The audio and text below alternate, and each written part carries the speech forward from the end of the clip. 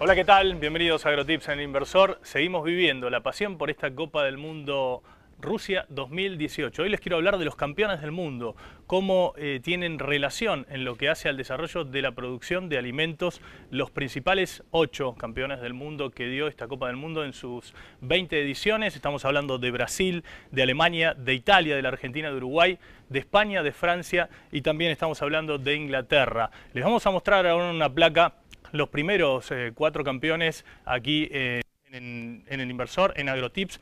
Y hablamos de Brasil, que ganó cinco Copas del Mundo, 58, 62, 70, 94 y 2002.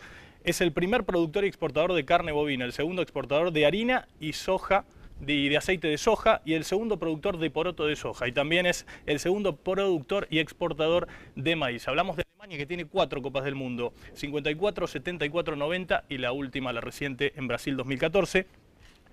Segundo productor y segundo exportador de trigo, muy importante en la Unión Europea, y el tercer productor de maíz. Italia, que tiene también cuatro Copas del Mundo, 34, 38, 82 y 2006, es el décimo productor y exportador de trigo, muy importante también en la Unión Europea, y es un líder indiscutido en lo que es la industria de la alimentación, especialmente en lo que hace a la fabricación de pastes. Y ahora vemos a la Argentina, que tiene dos Copas del Mundo, como todos sabemos, 78 aquí en nuestro país, y el 86 con Maradona allí en México, es el primer exportador de harina de soja y también de aceite. Somos el tercer productor y exportador de poroto de soja y el tercer productor y exportador de maíz. Además, el sexto productor y séptimo exportador de trigo y por supuesto volvimos a posicionarnos en lo que hace al top 10 de exportadores de carne. Estábamos por debajo de ese top 10 después de las malas políticas que había aplicado el gobierno anterior y hoy volvimos a estar en el séptimo lugar, lejos todavía de aquellas eh, casi 700.000 toneladas que exportamos en el 2015. Vemos ahora los otros cuatro campeones del mundo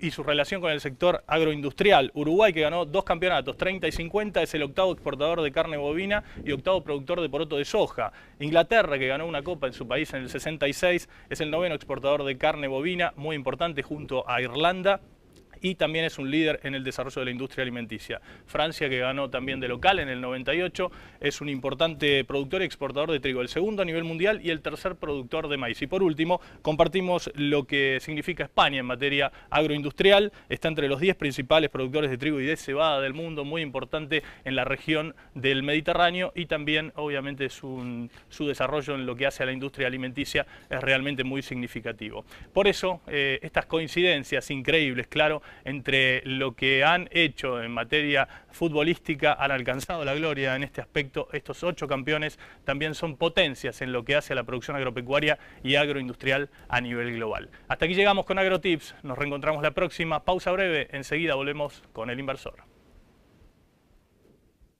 Auspició este espacio somos San Miguel, una empresa argentina multinacional, líder en la industria de los cítricos. Somos experiencia e innovación.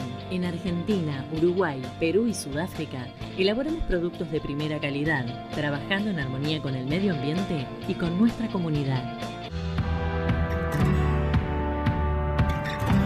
Solo hay algo que me gusta más que manejar al amanecer, y es poder manejar los tiempos comerciales de mis granos. Imagina poder crecer sin límites. Y pesa Silo.